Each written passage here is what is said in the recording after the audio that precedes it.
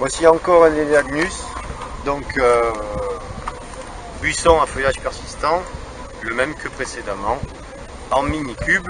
Là, il est sphérique avec un dessus plat. Alors, on va commencer comme les autres. On fait notre contour de notre buisson. Une fois qu'on a fait les côtés, on s'attaque au-dessus. Là, il y a une vilaine qui a poussé à l'intérieur. On va la tailler avec et ensuite on ira se jeter dessous, mais dans notre épisode, pour aller l'enlever. Allez.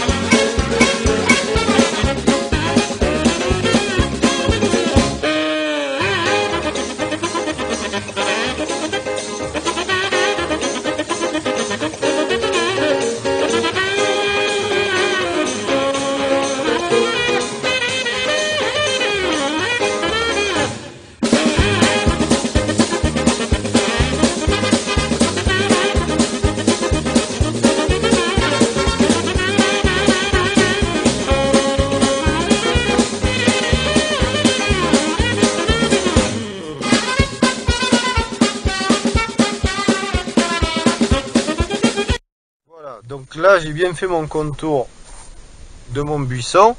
Donc, j'ai pas hésité à caresser le végétal plutôt que d'y rentrer comme un sauvage à l'intérieur. On appelle ça de la taille, pas de la remise en état. Maintenant que ma sphère est faite, donc je change le réglage de ma machine parce que là, je travaillais légèrement incurvé et comme vous voyez bien, l'avantage d'avoir une demi-perche, c'est d'avoir du recul sur le travail. Donc là maintenant, je vais me baisser un petit peu et je vais maintenir donc le plat à ce niveau-là sur tout le dessus du végétal. Donc qu'est-ce que je fais? Je mets ma machine à plat. Je me cale à la bonne hauteur de coupe. Donc on a dit ici à l'ancienne taille. C'est simple, on ouvre un peu et on voit là où il y a le plus de feuilles. Et donc je vais partir de là moi, je suis gauche, droitier. Donc, de droite à gauche, je rabats tout sur le côté pour pouvoir évacuer ça bien à plat. Allez.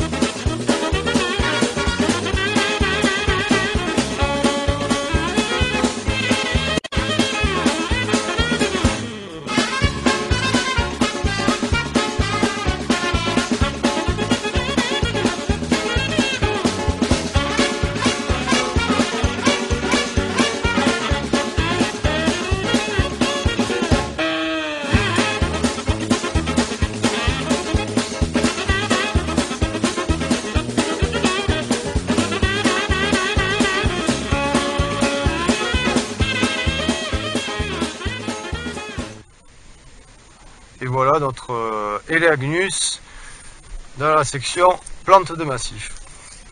A bientôt